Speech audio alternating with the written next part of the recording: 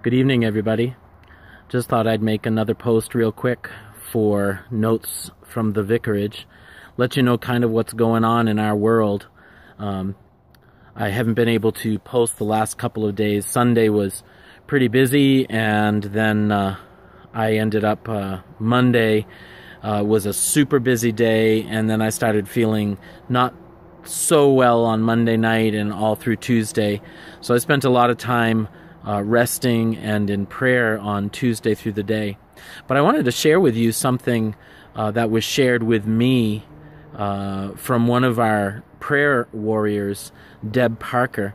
On Sunday morning, she sent me a uh, an uh, instant messenger uh, telling me that she had been awakened in the night by a dream, and in the dream the Lord told her that the the uh, fawn was in the thicket, and uh, of course that takes us back to the book of Genesis. It reminds me of the story of Abraham when God had told him to take his son, his only son, Isaac, up uh, the mountain to uh, sacrifice his son, and Abraham, in obedience, did that.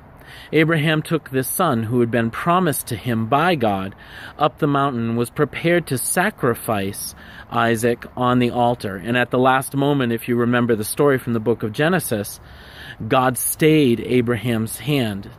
There was a ram that got stuck in the thicket, and God said, uh, Behold, I have given you your sacrifice. Do not kill your son, your only son. And so Abraham stayed his hand, and together they sacrificed the ram uh, that was in the thicket before God. Reminds me a little bit of. Uh, sort of where where I'm at in, uh, and I think many people are at with where it concerns the promises of God. We've all got these things that God has promised us, and it just seems like life comes along and keeps requiring us to put our dreams aside again and again and again. Have you ever been there? Have you been to that place where there's this thing that God has put inside your heart and inside your mind where you are supposed to, uh, and you know that it's something that you are supposed to do? There's, there's something that God has put inside you, a promise, a call, or something like that, and you feel almost compelled to this thing, uh, whatever it may be but life comes along and keeps sidetracking you and keeps pushing you aside and keeps causing you to take the dream and put it on the altar to sacrifice it for the sake of life. Sort of like what Abraham felt called to do with Isaac. He had to take this son, this son of the promise, and he felt like he needed to put it on the altar. Uh, but God provided a substitutionary sacrifice in the last moment, in the moment, uh, the turning point, the 11th hour, God provided another sacrifice. And God spoke to me through this vision that Deb Parker had. Uh, you know, what the word to her was the fawn is in the thicket, the sacrifice is being provided. And to me, that meant that uh, stay your hand. Jay. And I think God's speaking this to many people throughout uh, our community and even maybe throughout the world. And He's saying, You've sacrificed that dream enough. You've put that dream on the altar enough. I see it. You're willing to give it up in order to do the other things that I've called you to do.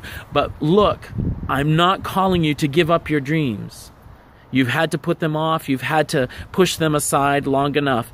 Now, behold, I'm going to put the, the right sacrifice at the right time in the right place. And you are going to be able to take your dreams off the altar and you're going to be able to watch them be fulfilled. I hope that ministers to you. It, it, sure ministered to me because I feel like I'm in a season during this artistic reboot where God is saying, I'm about to change things up a little bit for you. The, the things that you've been uh, feeling you need to push the dream off for, uh, I am going to provide a way. I'm going to make a way so that the dream I put inside your heart, the dream of artistry, the dream of uh, writing, the dream uh, of music, uh, will be provided uh, for. And uh, you aren't going to have to push that off anymore. Uh, maybe this ministers to you. Maybe it speaks to you as well. I hope it does. God bless. Bye now.